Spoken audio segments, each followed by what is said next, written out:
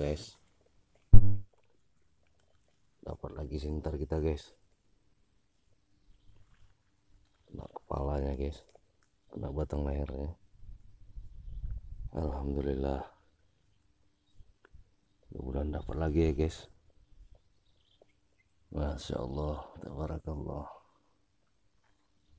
Wow. Langsung tumbang guys. Masya Allah.